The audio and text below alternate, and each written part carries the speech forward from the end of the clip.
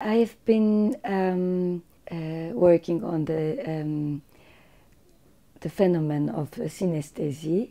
which is a, a, phenomenon when you listen to sound or and evoke something else, uh, or when you see something you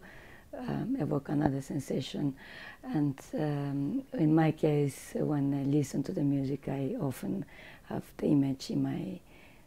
head and uh, I was just curious how it would come out if I try to realize uh, um, this into film, so make it a visible form.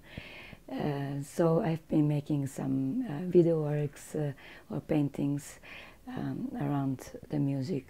mainly post-romantic and um, modern or contemporary music